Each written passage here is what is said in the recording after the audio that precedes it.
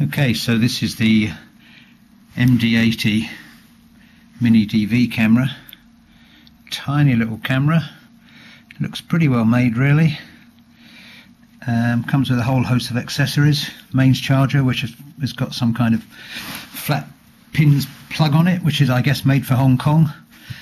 Never mind, you can it charges with the USB, which is not shown here with the accessories, but it comes with all kinds of brackets bracket for mounting on a wall or something. Just camera just clips into it.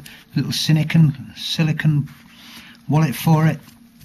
Another bracket where you can clip it onto something. A lanyard. This is a useful little thing. You clip the camera into that, and you can clip it on a jacket or something. Uh, that's the driver disc and the packaging. Um, now the manufacturers say that. Um, It'll go two hours on a charge. As I say, it charges through the USB at the bottom there. Um, in fact, the best I've had is about an hour, and a 4 gig micro 4 gig micro card would do just about 53 minutes. Um, the micro card goes in here, slots into there. It's only got a couple of buttons on it. One says power, which, as as you'd imagine, turns it on and off. This says mode, and the button on the top starts recording. It's got two modes. You can either turn it on, press record, and it will record, or you can press mode and it will be in a standby mode and will be sound activated. Uh, quite a nice, nice little bit of kit anyway.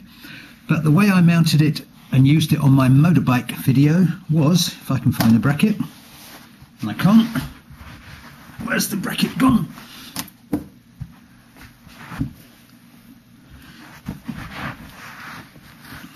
I just made a little bracket out of some sheet metal.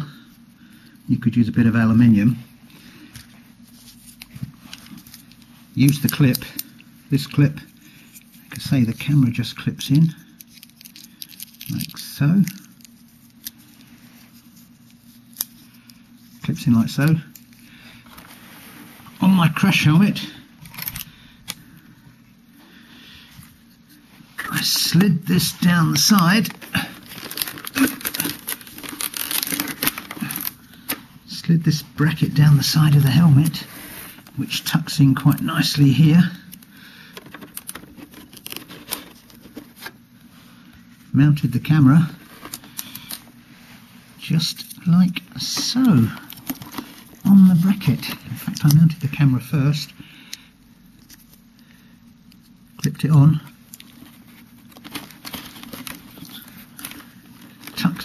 in like so. That doesn't look quite right because the angle's not right. Anyway, with a bit of fiddling around, I managed to get it so it was actually pointing exactly the way that my eyes were pointing.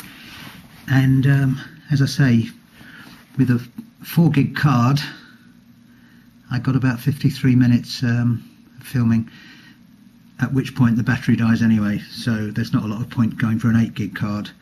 Uh, some of the websites say that you're better off using a class 4 card because the write speed's better, but I don't know how much difference it makes.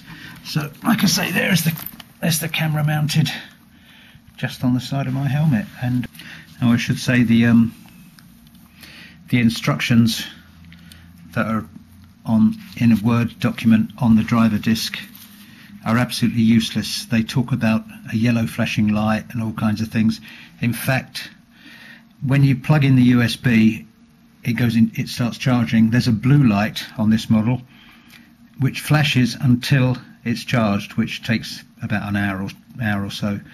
Um, when it's in standby mode, there's a red light that you can see flashing on the top. Quite hard to see in the daylight, but um, that means it's in standby mode. It's flashing quite quickly. When you when it's in record mode, it flashes slowly. But like I say, the lights are quite difficult to see in the daylight. Um, not much else I can say about it really. So, oh, there's a reset reset button on the side. If it all goes pear shaped and decides to stop working, you just stick a little pin in that hole on the side. Okay. Anyway, I hope you enjoy the um, motorbike video. Okay, here we go.